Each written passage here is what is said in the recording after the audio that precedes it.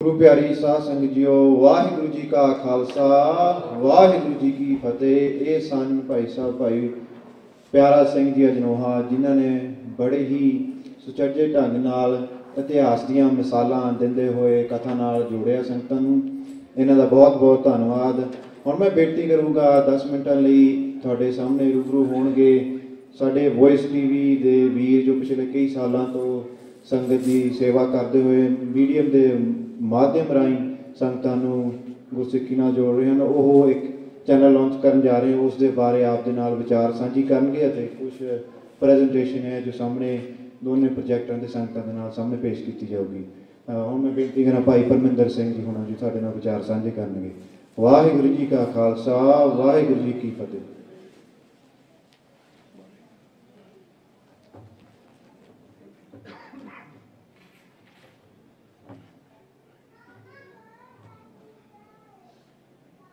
ਮਾਣ, ਮੱਤਾ, ਇਤਿਹਾਸ ਸਾਡਾ ਇਹ ਦੱਸਦਾ ਹੈ। ਰਣ ਵਿੱਚ ਵੈਰੀ ਨੂੰ ਖਾਲਸੇ ਡੱਕਦੇ ਰਹੇ। ਆਪਣੇ ਆਪ ਨੂੰ ਖੱਬੀ ਖਾਂ ਸਮਝਦੇ ਜੋ। ਸਿੰਘਾਂ ਸਾਹਮਣੇ ਨਾ ਉਹ ਕੱਖਦੇ ਰਹੇ। ਜਿਉਂ ਜਿਉਂ ਜ਼ਾਲਮਾ ਸਾਡੇ ਤੇ ਕਹਿ ਢਾਏ ਤਿਉਂ ਤਿਉਂ ਖਾਲਸੇ ਸਿੱਖੀ ਵਿੱਚ ਪੱਕਦੇ ਰਹੇ। ਲਾ ਕੇ ਚੱਕ ਤੋਂ, ਲਾ ਕੇ ਚੱਕ ਤੋਂ ਜਿਵੇਂ ਰੱਖੇ ਘੁਮਿਆਰ ਭਾਂਡੇ ਫੱਟੇ ਵੈਰੀ ਦੇ ਇਸ ਤਰ੍ਹਾਂ ਚੱਕਦੇ ਰਹੇ। ਗੁਰੂ ਚਰਨਾਂ ਵਿੱਚ ਜੁੜ ਬੈਠੀ ਗੁਰੂ ਪਿਆਰੀ ਸਾਧ ਸੰਗਤ ਜੀਓ, ਵਾਹਿਗੁਰੂ ਜੀ ਕਾ ਖਾਲਸਾ, ਵਾਹਿਗੁਰੂ ਜੀ ਕੀ ਫਤਿਹ। ਜਿਸ ਤਰ੍ਹਾਂ ਸਿੰਘ ਸਾਹਿਬ ਜੀ ਨੇ ਦੱਸਿਆ ਮੈਂ ਵੌਇਸ ਕੰਪਨੀ ਤੋਂ, ਆਪਣੀ ਟੀਮ ਦੇ ਨਾਲ ਆਇਆ ਹਾਂ। ਤੇ ਮੇਰਾ ਨਾਮ ਪਰਮਿੰਦਰ ਸਿੰਘ ਹੈ, ਮੇਰੇ ਸਾਥੀ ਹਰਪ੍ਰੀਤ ਸਿੰਘ ਜੀ, ਸਿਮਰਜੀਤ ਸਿੰਘ ਜੀ, ਭਾਈ ਗੁਰਬਿੰਦਰ ਸਿੰਘ ਜੀ, ਜੋ ਸਾਡਾ ਸਾਥ ਦੇ ਰਹੇ ਨੇ।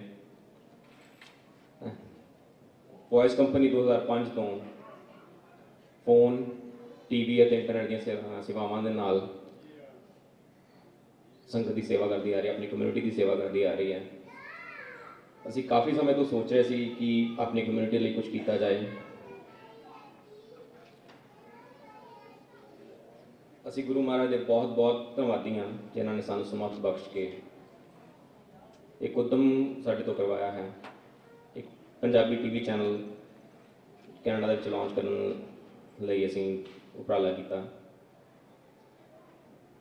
ਤੇ ਰੀਸੈਂਟਲੀ ਸਾਨੂੰ ਕੈਨੇਡਾ ਦੀ ਗਵਰਨਮੈਂਟ ਤੋਂ ਇਹ ਪੰਜਾਬੀ ਟੀਵੀ ਚੈਨਲ ਜਿਸ ਦਾ ਕੀ ਨਾਮ? ਚੱਕ ਦੇ ਟੀਵੀ ਰੱਖਿਆ ਹੈ। ਉਹ ਸ਼ੁਰੂ ਕਰਨ ਦੀ ਪਰਮਿਸ਼ਨ ਮਿਲੀ ਹੈ। ਚੱਕ ਦੇ ਟੀਵੀ ਕੈਨੇਡਾ ਦਾ ਪਹਿਲਾ 24 ਘੰਟੇ ਚੱਲਣ ਵਾਲਾ high definition Punjabi TV channel ਹੋਏਗਾ। ਤੇ ਇਹ 1 ਮਾਰਚ ਤੋਂ ਲਾਂਚ ਹੋ ਰਿਹਾ। ਹੈ ਚੱਕ ਦੇ ਟੀਵੀ ਕੈਨੇਡਾ ਦੇ ਸਾਰੇ ਪ੍ਰਮੁੱਖ ਕੇਬਲ ਤੇ ਸੈਟੇਲਾਈਟ ਪ੍ਰੋਵਾਈਡਰਸ ਤੇ ਜਿਵੇਂ ਕਿ ਟੈਲਸ ਸ਼ਾਓ ਅਤੇ ਬੈਲ ਤੇ ਅਵੇਲੇਬਲ ਹੋ ਜਾਏਗਾ ਖਾਲਸਾ ਜੀ, ਅਸੀਂ ਇਹ ਚੈਨਲ ਕਿਉਂ ਸ਼ੁਰੂ ਕਰ ਰਹੇ ਹਾਂ? ਕੀ ਰੀਜ਼ਨ ਨੇ ਜਿਨ੍ਹਾਂ ਨੇ ਸਾਨੂੰ ਇਨਸਪਾਇਰ ਕੀਤਾ? ਹੈ ਕੀ ਕਾਰਨ ਸਨ ਜਿਨ੍ਹਾਂ ਨੇ ਸਾਨੂੰ ਇਹ ਇਨਸਪਾਇਰੇਸ਼ਨ ਦਿੱਤੀ ਹੈ ਕਿ ਅਸੀਂ ਤੁਹਾਡੇ ਰੂਰੂ ਪੇਸ਼ ਹੋ ਕੇ ਇਹ ਆਪਣੇ ਵਿਚਾਰ ਦੱਸ ਸਕੀਏ। ਇਹਦੇ ਬਾਰੇ ਤੁਹਾਨੂੰ ਬਾਕੀ ਡਿਟੇਲਸ ਭਾਈ ਗੁਰਬਿੰਦਰ ਸਿੰਘ ਜੀ ਦੇਣਗੇ।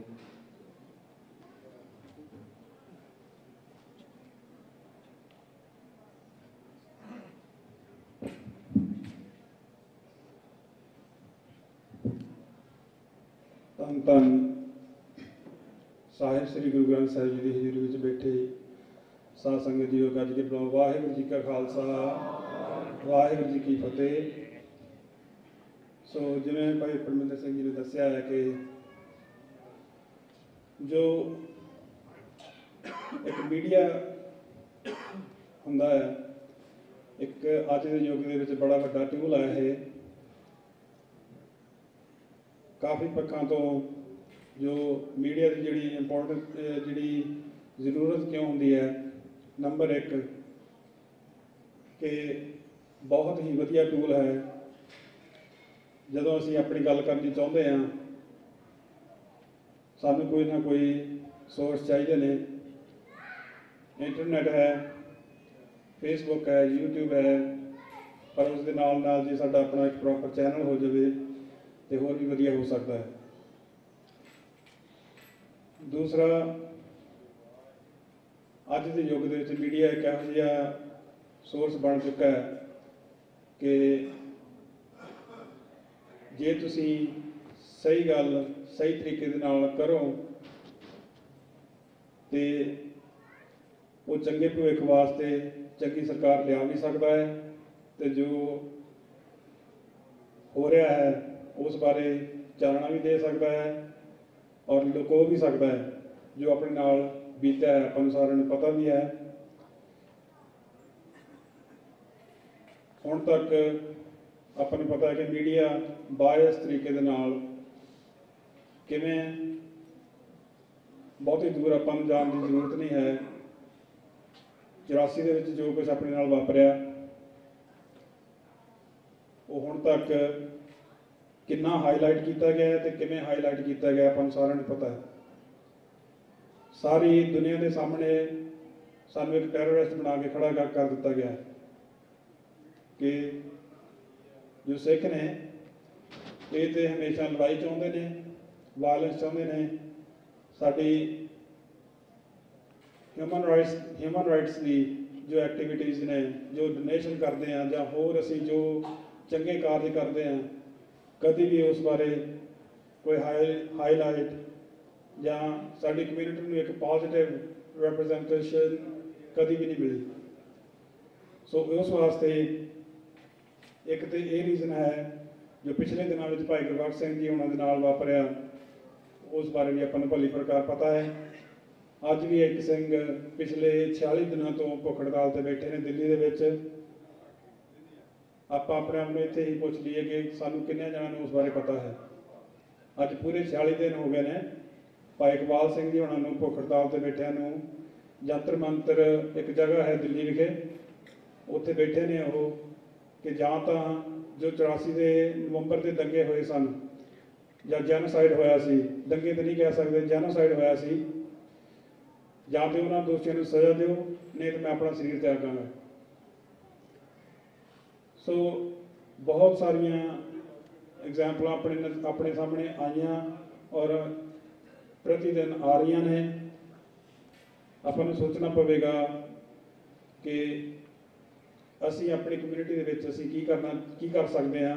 ਘੱਟ ਤੋਂ ਘੱਟ 50 60 ਹਜ਼ਾਰ ਦੀ ਸਾਡੀ ਕਮਿਊਨਿਟੀ ਹੈ ਤੇ 50 60 ਹਜ਼ਾਰ ਦੀ ਆਵਾਜ਼ ਬਹੁਤ ਹੁੰਦੀ ਹੈ ਜੇ, ਆਪਾਂ ਇੱਕ ਆਵਾਜ਼ ਹੋ ਕੇ ਇਨਜਸਟਿਸ ਦੇ ਅਗੇਂਸਟ ਆਪਾਂ ਖੜੇ ਹੋ ਸਕੀਏ ਤੇ ਉਸ ਵਾਸਤੇ ਸਾਡੇ ਕੋਲ ਪਲੇਟਫਾਰਮ ਹੋਵੇ। ਗੁਰੂ ਮਹਾਰਾਜ ਦੀ ਕਿਰਪਾ ਨਾਲ ਉਹ ਪਲੇਟਫਾਰਮ ਸਾਨੂੰ ਹੁਣ ਮਿਲਿਆ ਹੈ। ਸੋ ਜੋ ਕੁਝ ਗੋਲ ਨੇ ਇਸ ਚੈਨਲ ਦੇ ਇਹ ਨਾ ਸੋਚ ਲੈਣਾ ਕਿ ਸ਼ਾਇਦ ਇਹ ਚੈਨਲ ਸਿਰਫ ਕਿਸੇ ਟਕਸਾਲ ਨੂੰ, ਕਿਸੇ ਡੇਰੇ ਨੂੰ ਜਾਂ ਕਿਸੇ ਇੱਕ ਇੱਕ ਬਾਇਸ ਤਰੀਕੇ ਨਾਲ ਇੱਕ ਧਿਰ ਦੇ ਨਾਲ ਸੰਬੰਧਿਤ ਹੋਵੇਗਾ, ਇਸ ਤਰ੍ਹਾਂ ਦੀ ਕੋਈ ਗੱਲ ਨਹੀਂ ਹੈ।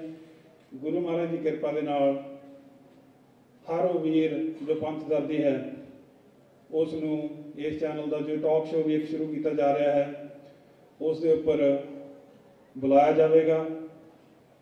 ਕਿਉਂਕਿ ਜਿਸ ਤਰ੍ਹਾਂ ਭਾਈ ਸਾਹਿਬ ਜੀ ਨੇ ਵੀ ਕਥਾ ਵਿੱਚ ਇੱਕ ਪੁਆਇੰਟ ਦਿੱਤਾ ਹੈ ਕਿ ਅੱਜ ਲੋੜ ਹੈ, ਖਲਾਰਾ ਪਾਉਣ ਵਾਲੇ ਤੇ ਬਹੁਤ ਨੇ। ਔਰ ਖਲਾਰਾ ਪੈ ਵੀ ਰਿਹਾ ਹੈ ਸਿੱਖੀ ਤੌਰ ਤੇ। ਕੋਈ ਕੁਝ ਕਹਿ ਰਿਹਾ, ਕੋਈ ਕੁਝ ਕਹਿ ਰਿਹਾ ਹੈ। ਆਮ ਸੰਗਤ, ਅਸੀਂ ਉਹਨਾਂ ਨੂੰ ਸਟੇਜਾਂ ਤੇ ਬੁਲਾ ਕੇ ਉਹਨਾਂ ਦੀਆਂ ਜੇਬਾਂ ਵੀ ਭਰ ਰਹੇ ਹਾਂ, ਸਾਰਾ ਕੁਝ ਕਰ ਰਹੇ ਹਾਂ। ਔਰ ਇੱਕ ਪਰਿਵਾਰ ਦੇ ਦੋ ਮੈਂਬਰ ਟੇਬਲ ਤੇ ਬੈਠ ਕੇ ਪ੍ਰਸ਼ਾਦਾ ਨਹੀਂ ਛਕ ਸਕਦੇ ਕਿਉਂਕਿ ਵਿਚਾਰ ਨਹੀਂ ਰਲਣਾ ਸੋ ਉਹ ਸਾਰੇ, ਸਾਰੀ ਚੀਜ਼ ਨੂੰ ਇਕੱਠਾ ਕਰਨ ਵਾਸਤੇ ਸਾਡਾ ਇੱਕ ਇੱਕ ਗੁਰੂ ਮਹਾਰਾਜ ਦੇ ਚਰਨਾਂ ਵਿੱਚ ਅਰਦਾਸ ਕਰਕੇ ਉਪਰਾਲਾ ਹੈ ਕਿ ਜੋ ਅੱਜ ਹੋ ਰਿਹਾ ਹੈ, ਉਹ ਸਾਰਿਆਂ ਨੂੰ, ਵੀਰਾਂ ਨੂੰ ਵਿਚਾਰ ਵੱਖਰੇ ਵੱਖਰੇ ਹੋ ਸਕਦੇ ਹਨ। ਜੇ ਸਾਡਾ ਇੱਕ ਵਿਚਾਰ ਨਹੀਂ ਰਲਦਾ, ਕੋਈ ਗੱਲ ਨਹੀਂ, ਠੀਕ ਹੈ। ਬਾਕੀ ਦੇ ਜਿਹੜੇ ਇੱਕ ਵਿਚਾਰ ਨਹੀਂ ਰਲਿਆ, ਦੋ ਨਹੀਂ ਰਲੇ, ਬਾਕੀ ਦੇ 98 ਵਿਚਾਰ ਜੇ ਰਲ ਰਹੇ ਹਨ, ਉਹਨਾਂ ਤੇ ਵਰਕ ਕਰ ਸਕਦੇ ਹਾਂ ਆਪਾਂ। ਸੋ ਉਸ ਚੀਜ਼ ਵਾਸਤੇ ਸਾਨੂੰ ਇਕੱਠੇ ਹੋਣ ਦੀ ਜ਼ਰੂਰਤ ਹੈ ਔਰ ਸਾਡਾ ਇਹ ਇੱਕ ਛੋਟਾ ਜਿਹਾ ਉਪਰਾਲਾ ਹੈ। ਉਮੀਦ ਹੈ ਆਪ ਆਪਣਾ ਸਾਥ ਦਿਓਗੇ। ਸੋ ਕੁਝ ਇੱਕ ਜੋ ਮੇਰੇ ਸਾਹਮਣੇ ਲਿਖੀਆਂ ਗਈਆਂ ਹਨ ਕਿ ਸਿੱਖ ਹਿਸਟਰੀ ਤੋਂ ਜਾਣੂ ਕਰਾਉਣਾ, ਸਿੱਖ ਹਿਸਟਰੀ ਨੂੰ ਆਪਣੇ ਬੱਚਿਆਂ ਤੱਕ ਪਹੁੰਚਾਉਣਾ, ਪੰਜਾਬੀ ਜੋ ਮੀਡੀਆ ਹੈ ਅੰਡਰ ਪ੍ਰੈਸ਼ਰ ਗਵਰਨਮੈਂਟ ਦੇ ਅੰਡਰ ਪ੍ਰੈਸ਼ਰ ਹੋ ਕੇ ਸੱਚ ਦੀ ਗੱਲ ਕਰਨ ਤੋਂ ਮੁਨਕਰ ਹੋ ਜਾਂਦਾ ਹੈ ਜਾਂ ਕੋਈ ਵੀ ਮੀਡੀਆ ਹੈ, ਉਹ ਗੁਰੂ ਮਹਾਰਾਜ ਦੀ ਕਿਰਪਾ ਨਾਲ ਇਹੋ ਜਿਹਾ ਕੋਈ ਇਸ ਤਰ੍ਹਾਂ ਦਾ ਆਪਣੇ ਤੇ ਕੋਈ ਪ੍ਰੈਸ਼ਰ ਨਹੀਂ ਹੈ, ਨਾ ਕੋਈ ਇਹੋ ਜਿਹਾ ਹੋਵੇ, ਜੇ ਕਿ ਆਪ ਜੀ ਨੂੰ ਲੱਗੇ ਤੇ ਆਪ ਦੇ ਚਰਨਾਂ ਵਿੱਚ ਫਿਰ ਹਾਜ਼ਰ ਹਾਂ, ਐਸੀ ਕੋਈ ਗੱਲ ਨਹੀਂ ਹੈ ਕਿ ਹਾਂਜੀ ਵੀ ਇਹਨਾਂ ਨੇ ਚੈਨਲ ਸ਼ੁਰੂ ਕਰ ਲਏ ਤੇ ਮਨਮਰਜ਼ੀ ਹੋਏਗੀ, ਇਸ ਤਰ੍ਹਾਂ ਦੀ ਕੋਈ ਗੱਲ ਨਹੀਂ ਹੈ। ਸੋ ਜਿਵੇਂ ਭਾਈ ਗੁਰਬਖਸ਼ ਸਿੰਘ ਦੀ ਐਗਜ਼ਾਮਪਲ ਦਾਸ ਨੇ ਪਹਿਲਾਂ ਦੇ ਦੇ ਦਿੱਤੀ ਹੈ।